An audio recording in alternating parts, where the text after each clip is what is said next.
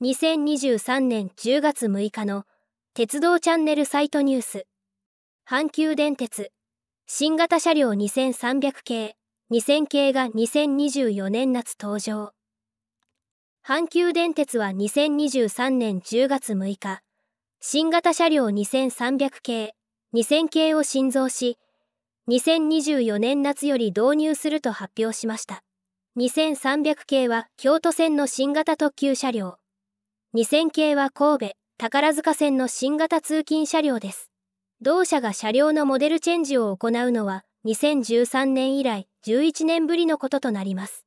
開発コンセプトは安心と快適、そして環境に配慮した新しい阪急スタイルとし、伝統のマルーンカラーの車体、木目調の化粧板、ゴールデンオリーブ色の座席など、2022年度グッドデザイン、ロングライフデザイン賞を受賞した阪急電車のイメージを継承しつつ、前面の窓ガラスに曲線を取り入れて疾走感を醸し出したデザインに変更するということです。